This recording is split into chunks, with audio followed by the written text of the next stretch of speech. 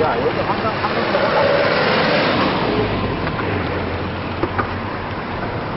한강보다 낫다고?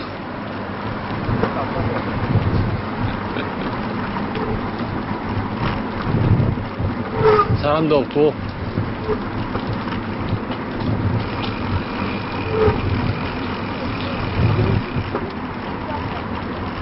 여기 자전거 길이지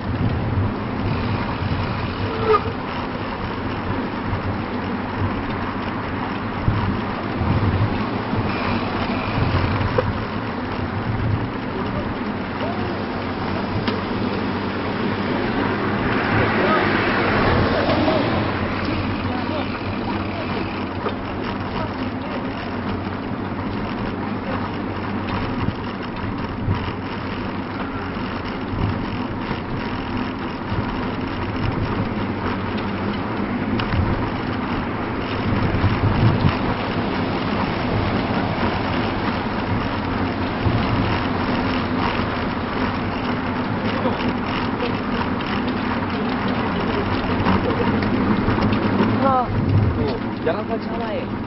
了 동, 초 동... 하긴 오.